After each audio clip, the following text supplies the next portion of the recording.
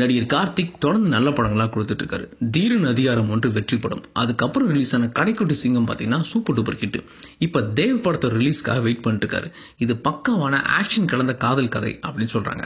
படத்தினுடைய teaser release ஆகி பெரிய லெவல்ல பேசப்பட்டது.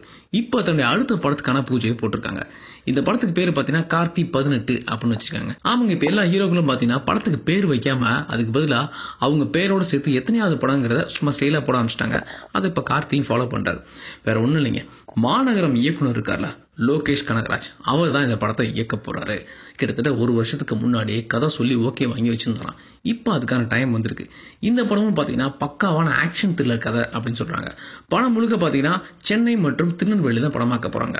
ஒரு சில காட்சிகளை செட்டு போட்டு படமாக்க போறாங்க. படத்துக்கு music Sam C S cinematography Sathyan Sooriyan editing பார்த்தீங்கன்னா பிலோமின் ராஜ் அப்படின்னு சொல்றாங்க. படத்துக்கு டயலாக்ஸ் வந்து பொன் பார்த்திபன் அப்படின்னு சொல்றாங்க. மொத்தத்துல கார்த்திகோட அந்த படம் பெரிய லெவலில் எதிர்பார்ப்பை எதிர வச்சிருக்கு நடிகர் கார்த்திகோட முந்தைய படங்களான காஸ்மோரா தீரன் அதிகாரம் ஒன்று படங்களை தயாரிச்ச ட்ரீம் வாரியர் பிக்சர்ஸ் தான் இந்த படத்தை தயாரிக்கிறாங்க.